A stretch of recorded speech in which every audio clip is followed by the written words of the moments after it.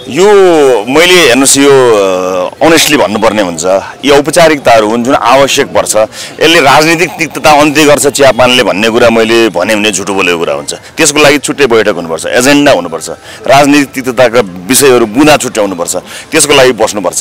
रासोपा त तयार छ सधैँ। मैले त खुल्ला रूपमा भनेको छु सबै राजनीतिक दलहरूलाई कि यो बिचमा भएका कमी कमजोरीहरूलाई कमसे कम लिस्ट आउट गरौँ र यो तिन चार वर्ष तपाईँहरू हामीलाई प्रतिपक्षमा छोडिदिएर काम गर्नुहोस् न भनेर मैले सद्भावपूर्ण त्यो व्यङ्ग्यात्मक पनि होइन कुनै एउटा त्यो अन्य हिसाबले नै होइन नि साँच्चै नै मुलुकको अवस्थाप्रति चिन्ता अभिव्यक्त गरेर हामीले भनेको कुराहरू त्यो सिरियस कुरा हो। त्यो प्रायः कहिले काहीँ छेडखानी नै चलिरहेको समाजमा केही चिज भनेको छेडखानी गर्यो कि यसले व्यङ्ग्य गर्यो कि भन्ने अर्थ लाग्छ र बेग्लै कुरा हो। तर मैले सिन्सियरली र सिरियसली के भनेको भने देखियो समस्या त। यो पछिल्लो समय राजनीति परिवर्तन पछाडि आम जा नागरिकको जीवनमा परिवर्तन नआएको र आम मान्छेमा एक किसिमको एउटा तनाव एउटा एउटा फ्रस्ट्रेसन त देखियो।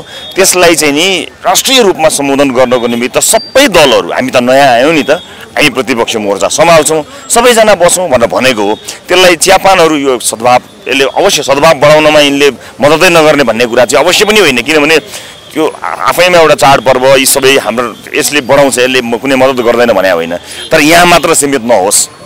यसका लागि छुट्टै एउटा बैठक हुने त्यस्तो एउटा कुनै फोरम बन्नु पर्यो। त्यो फोरमहरूमा राष्ट्रिय मुद्दाहरू स केही मुद्दा त छन् नि जो सबैका हुन्। सबैका हुन् होइन। विप्लवजीले पनि यो देशको समृद्धि चाहनु भएको हो। हामीले पनि देशको समृद्धि चाहेका हौँ। उहाँले रोज्नु भएको बाटो रोज्न आँट्नु भएको बाटो रोज्ने सम्भावना देखिएको बाटो र हामीले रोजिरहेको बाटोमा नै फरक हो। यो मुलुकको समृद्धिभन्दा बाहिर त कसले के सोचेको छ र होइन? त्यस कारणले बाटोहरू पनि धेरै छन् तर पुग्ने लक्ष्य एउटै भएको हुनाले केही चिजहरू कमन यस्ता चियापान मात्र होइन कि कमन एजेन्डामा डिस्कस गर्ने फोरम चाहिँ हुनुपर्छ जस्तो लाग्छ मलाई। थियो। एमालेसँगको विशेष सामिप्यता हो। ए होइन त्यस्तो त भन्नु भएन। अब त्यस्तो त होइन त्यस्तो थिएन हामी धेरै थियौँ। तपाईँ हामी अलि एकैचोटि आउनु समय चाहिँ अहिले के भने सबै समितिबाट सँगै आएको हुनाले परेको होला। हामी लगभग यति नै अझ बढी नै थियौँ होला कङ्ग्रेसकोमा। अब त्यसको काङ्ग्रेससँग विशेष सामित भन्नु पऱ्यो सङ्ख्या गनेर। त्यहाँ अलिक धेरै नै थियो जस्तो लाग्छ मलाई। किनभने त्यो त्यो तपाईँको क्यामेराको लेन्समा कतिजना पर्नुभयो मलाई थाहा भएन। तर त्यस्तो भन्ने हुँदैन। हामी एकदम भ्याएसम्म आइहाल्छौँ। त्यस्तो होइन। जस्तो न- न- नयाँ छौँ भन्नुभयो नि नयाँ छौँ भन्नुभयो नि। अब चौरासीसम्मै होला नयाँ छौँ भन्न पाउने पनि तपाईँहरूले होइन? नयाँको व्याख्या मैले बताएको छु। नयाँको व्याख्या भनेको ढिलो जन्मिनुको प्रमाणपत्रलाई नयाँ भने होइन हो हामीले? विचारको हिसाबले। विचारका हिसाबले र बदलिँदो परिस्थितिसँग चाहिँ नि अपडेटेड भएर आउने हिसाबले नयाँ भने हो। नयाँ त आजको भोलि अर्को नयाँ भइहाल्छ नि। त्यसरी नयाँ भनेको होइन जसलाई मैले विभिन्न ठाउँहरूमा भन्ने गरेको छु। हामी पछि आएको दल दर्ता भएको मिति जन्मिएको मिति लाई राखेर मैले नयाँ भन्न खोजेको होइन। परिवेशका हिसाबले र आफूलाई कसरी चाहिँ नि अगाडि बढाउन सकिन्छ बदलिँदो परिस्थितिसँग एकदमै मिल्न सक्ने गरी नयाँ भन्नेलाई चाहिँ नयाँ भनेको यसमा चाहिँ अन्यथा अर्थ नलागोस् भन्ने चाहन्छु। नयाँ फोरम भन्नुभयो संसदमा उल्लेख्य रूपमा हुनुहुन्छ नि त यहाँ त नयाँ। फोरम भनेको के हो? गोलमेच हो कि यो संसदभन्दा बाहिरको कुनै होइन सर एउटा अन्य ठाउँमा पनि के प्र्याक्टिस छ भने कमन फोरम्सहरू पनि बन्छन् अनौपचारिक फोरम्सहरू पनि बन्छन्। अनौपचारिक फोरम्सहरू हुँदाखेरि पनि हुने डिस्कसन्स त जिम्मेवार मान्छेहरू बिच हुने हो नि त। तपाईँ र म चिया खाएर गर्दा गरेको कुरा र संशोधनमा गरेको कुरामा लोकेसनले म्याटर गर्न त गर्ला। तर जिम्मेवारीका हिसाबले त तपाईँ र म जिम्मेवार मान्छे हौँ भने जहाँ पनि छलफल चल्न सक्छ त्यस्ता फोरमहरू त्यस्तो अनअफिसियल फोरम्सहरूले पनि सहयोग चाहिँ गर्न सक्छन् है भन्ने मेरो भनाइ हो। किनभने त्यसले चाहिँ त्यसले त्यसले काहीँ न काहीँ गाँठो फुकाउन मद्दत गर्छ पहिचान समस्या पहिचान गरेर संवादमा ल्याउनलाई मद्दत गर्छ। तपाईँले सुन्नु पनि भयो होला कयौँ नेताहरूको कयौँ बोलचालै पनि नहुने पनि हामीले सुनेका थियौँ देखभेटै नहुने पनि कहीँ सुनेका छौँ। त्यस्ता फोरम्सहरूले चाहिँ त्यस्ता कुरामा मद्दत गर्छ। आखिर यो मुलुकको समृद्धिका लागि लागेका राजनीतिक दलहरू केटाकेटीले जस्तो देख्दा न- नदेखे जस्तो गर्ने नबोले जस्तो गर्ने भने त अलि सामान्य हुँदैन नि। अब त्यस कारणले त्यसमा त केही मद्दत गर्ला नि भन्ने मेरो आशय हो। गत वर्ष सुन्तला कुट्नेले कुटनीतिले काम गरेको थियो होइन। गत वर्ष सुन्तला कुटनीतिले काम गरेको थियो।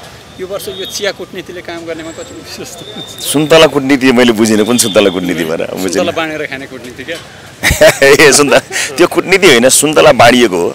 हरेक चिजलाई कुटनीति भन्नुभयो भने त अहिले माइक कुटनीति भन्नु होला। त्यो त केही नै त्यस त्यस त्यस त्यसरी बुझेको छैन। त्यति हाम्रो समस्या के हो भने हामी हरेक चिजमा यति गहिरो अर्थमा पुग्छौँ कि त्यो गर्नेलाई भन्दा सोच्नेलाई बढी गहिरो सोच्छ त्यति गहिरो मैले सोचेको छैन हामी सोच्दैनौँ। त्यति गहिरो केही पनि छैन। हस् धन्यवाद। हस्।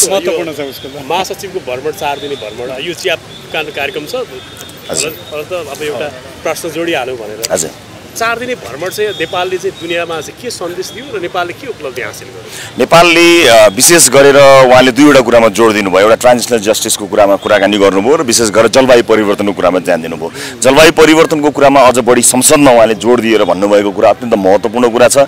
नेपाल अझ उहाँले हिमाललाई साक्षी राखेर संसारलाई मेल्ट हुँदैछ भन्ने जुन सन्देश दिनुभएको छ त्यसले गर्दा एउटा के लाग्छ भने हामीले जलवायु परिवर्तनको यो क्षतिमा हामी सबैभन्दा कम कन्ट्रिब्युटर हामीले त्यस्तो धेरै कन्ट्रिब्युट नगर्दाखेरि पनि हामीले त्यसको क्षति बेहोर्नु परेको छ। त्यस कारणले नेपालले त्यसको कम्पन्सिएट हुनुपर्छ। त्यो त्यो चाहिँ कम्पन्सिएटेड हुनुपर्छ भन्ने कुरामा उहाँले जोड लगाउनु भएको विषय चाहिँ विश्व सामु पुगेको कुरा अत्यन्त महत्त्वपूर्ण कुरा हो।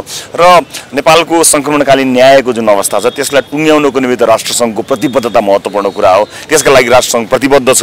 र जुन ढङ्गले हामीले चाहिँ नि यो शान्ति प्रक्रियामा हामी आयौँ त्यसको जुन एप्रिसिएसन उहाँले गर्नुभयो ती महत्त्वपूर्ण कुरा हो सभापतिजी अन्तिममा यो अहिलेको व्यवस्था प्रति चाहिँ यो राज संस्था पक्षधरहरूबाट चुनौती थपियो भनेर अरू दलहरूले भनिरहेका छन् तपाईँहरूलाई त्यस्तो महसुस भएको छ कि छैन? के लागिरहेको छ हामीले त्यस ढङ्गमा सोच्न भएको छैनौँ। हामीले त्यताबाट सोच्नुपर्ने अथवा त्यस्तो त्यसरी हामीले त्यस्तो छलफल हामीले चलाएको पनि छैनौँ। त्यसबारेमा हाम्रो कुनै त्यस्तो प्रतिक्रिया मेरो कुनै टिप्पणी छैन यो बारेमा। तर सरकार हाँकिरहेको माओवादीले त आन्दोलन घोषणा गर्यो। सडक आन्दोलन सडक सङ्घर्ष गर्ने। माओवादीले के के गर्छ गर्छ लामो इतिहास हेर्दै आउनुहोस् न। यस्तो नौलो कुरा कहाँ हो र गरिरहन्छ नि माओवादी चुनौतीको महसुस भएको छैन? होइन हामी त्यस्तो त्यो ढङ्गबाट सोच्ने बेला भएको छैन। त्यस्तो चुनौती भन् चुनौती भनेको त कस्तो हुन्छ भने चुनौती राजनीतिमा विभिन्न ढङ्गले आउँछ नि तर कुनै पनि घटनाक्रम आउने बित्तिकै त्यसैले चुनौती दिइहाल्ने भन्ने त्यस्तो हुँदैन होला। त्यो चरणमा छैन होला तर पनि हामीले त्यस्तो एकदमै धेरै त्यसलाई विश्लेषण गरिसकेको छैनौँ त्यस कारण। तपाईँले सोद्धाखेरि भन्ने कुरा बेग्लै भयो। हस् धन्यवाद। हाम्रो सारा नेपाली दाजुभाइ दिदीबहिनीहरू जो देशभित्र हुनुहुन्छ देश बाहिर पनि हुनुहुन्छ उहाँहरूलाई गइ गएको भर्खरै गएको दसैँको पनि शुभकामना दिन चाहन्छु। र आउँदै गरेको तिहार छठ पर्व नुदय भिन्तुना एघार सय चौवालिस सम्पूर्ण आउँदै गरेका चाडपर्वहरूको शुभकामना दिँदै अब आजभन्दा अर्को वर्ष त्योभन्दा अर्को वर्ष र चौरासी पछिको वर्ष चाहिँ हामीले मनाउने चाडपर्वहरू सबै नेपाली दाजुभाइ दिदीबहिनीहरू देशैभित्र फर्केर परिवारको साथमा बन मनाउने वातावरणहरू सिर्जना गर्छौँ। हामी तपाईँ हामी सँगै छौँ भन्न चाहन्छु। हस् शुभकामना। चियापान कार्यक्रमले मूलभूत रूपमा चाहिँ राजनीतिक नेतृत्व तहमा अथवा राजनीतिक नेताहरूमा सांसदहरूमा मन्त्रीहरूमा के भाइब दिन्छ अथवा कस्तो खालको चाहिँ म्यासेज दिन्छ अथवा के हुन्छ? यो चियापान कार्यक्रमको अर्थ के रहन्छ यो चियापान भन्नाले चिया पिउनलाई मात्र होइन कि एक अर्कामा एउटा भातृत्व बढाउँछ एक अर्कालाई चिन्ने मौका हुन्छ। होइन अब विभिन्न आफ्ना प्रतिस्पर्धाका लडाइँहरू एजेन्डाहरू त्यो आफ्नो ठाउँमा छ। यद्यपि हामी चाहिँ एकै देश बनाउनको लागि हामी कमन एजेन्डामा पनि आउन तयार छौँ है भन्ने कुरा चाहिँ एकअर्कालाई बुझ्ने होइन? भनौँ न आफ्नै पार्टी पङ्क्तिहरूलाई पनि बुझ्नको लागि आफ्नै आफ्नै पार्टीमा पनि भनौँ न ठुलो खाडल हुने गरेको हामीले देखेका छौँ। जस्तै पार्टीको सभापति र साधारण सदस्य बिच ठुलो खाडल भइरहेको हुन्छ। भने यस्ता कार्यक्रमहरूमा उहाँहरूले पनि आफू आफू आफू मध्येमा पनि साक्षात्कार हुन पाउने र पार्टीभन्दा बाहिर अन्य पार्टीका साथीहरूसँग पनि साक्षात्कार हुने इन्टरेक्सन हुने भातृत्व बढ्दै जाने र हामीले कमन एउटा देशको लागि एजेन्डा बोक्ने एउटा ठाउँ बनाउन सक्छौँ जस्तो लाग्छ मलाई चाहिँ। र त्यसमा प्राय गरेर चाहिँ पुरानो राजनीतिक दलहरूप्रतिको ढिला भयो जस्तो हजुर? हजुर। स्योर स्योर जस्तो वितृष्णा पनि देख्ने गरिन्छ। आक्रोश पनि देख्ने गरिन्छ। तर यहाँ आउँदै गर्दा कुनै पुराना नेताहरूसँग फेरि मिठो चाहिँ एउटा संवाद पनि देख्न सकिन्छ मिठो मुस्कान पनि देख्न सकिन्छ। कसरी? यस यो भनेको चाहिँ एउटा स्पोर्ट्सम्यानसिप हो कि?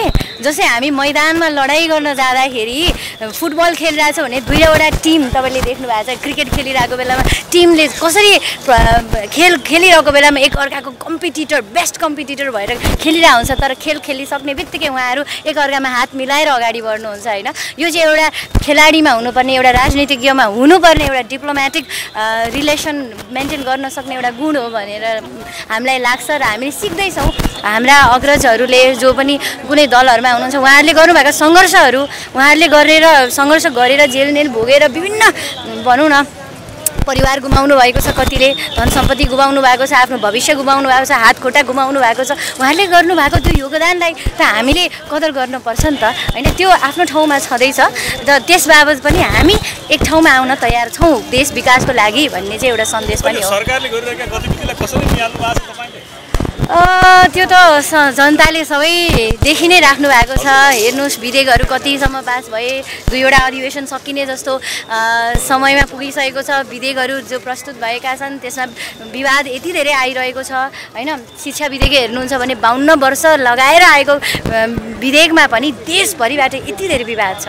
होइन भन्नुहोस् न अब यो ठाउँ आज यो चियापानको कार्यक्रम छ यसमा आज हामी एक अर्कालाई चिन्ने भातृत्वलाई अलि मिठास भर्ने काम नै गरौँ यो अरू अन्य मुद्दाहरूमा छलफल गर्दै? गरौँ। हस् हस्